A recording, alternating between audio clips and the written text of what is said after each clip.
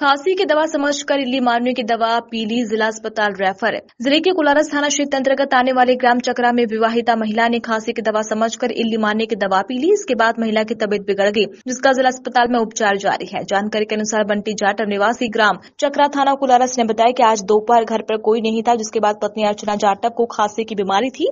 उसके बाद उसने खांसी की दवा समझकर घर पर रखी इल्ली की दवा पी ली। इसके बाद उसका स्वास्थ्य बिगड़ गया। बहन ने फ़ोन करके जानकारी दी, जिसके बाद पत्नी को कोलारस स्वास्थ्य केंद्र लेकर गए जहाँ से उसे जिला अस्पताल रेफर कर दिया गया है जिसका इलाज जारी है। हाँ भैया आपका? बंटी बंटी। कौन सा माजू? कहाँ से आयो? चकरा। कौन सा गाँव हैगा चकरा चकरा। चक्रा। ये कहाँ पड़ता है चक्रा? कौन सा थाना लगता है? कॉलरस तो आपकी पत्नी को क्या हुआ?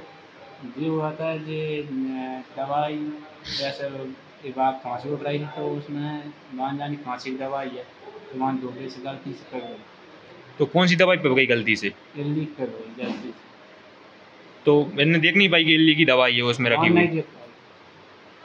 तो मतलब थोड़ी बहुत पी है ज़्यादा पे गई? थोड़ी सी की गई बूंदा ये का वासी आई सब बंदा उल्टी कर रही थी भाई हालती आ रही कहाँ इलाज करवाया था आपने? कोलारस का रहा था। ये रेफर कर दिया गया है हाँ, आप नहीं थे वहाँ घर पे? नहीं थे हमें कोई नहीं था। तो आपको कैसे पता चला इन्हें दवाई पी ली? वो तो लेना ने फ़ोन लगाया। कि गलती से इनसे वो दवा पे गई। हाँ, आप घर पे नहीं थे? नहीं हम कोई नहीं थे। क्या नाम है आपकी पत्नी का? कितनी उम्र होगी इनकी? होगी अठारह बीस। आपकी शादी हुई है कितने टाइम हो गए? बच्चे बच्चे हैं?